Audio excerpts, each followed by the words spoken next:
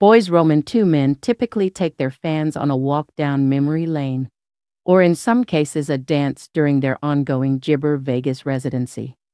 Performing as a trio since 2003, Gibber Morris, Wanya Morris, and Shawn Stockman teased a potential reunion with Michael McCary of the group's classic era when he joined his old mates on stage at the Cosmopolitan's Chelsea Theater on Friday night. While McCary, who left the group in part due to health problems, didn't sing with the guys, his surprise appearance did set off jabber about a potential reunion.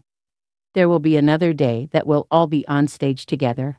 Trust me, McCary, Gibber too, told the crowd. It's coming, and I love these guys. Nathan, Jabber and Shawn's Boys Roman Two Men residency wrapped Saturday night, and they will kick off their highly anticipated tour on September 6th. The vocal harmony group, best known for emotional ballads a cappella Jabber, first formed in 1985, but over the next few years they would hone their skills and see a few members come and go. Once McCary joined Gibber, Stockman and Morris no relation, the group found the magical combination, and huge success would soon follow. As a quartet, Boys Roman Two Men featured all four members as lead vocalists, which stood out Jabber the typical R and B group arrangement of one or two lead singers and a team of background singers. The multiple lead arrangement became a Boys Gibber Men trademark, while McCary's deep bass tone became one of the group's signature sounds.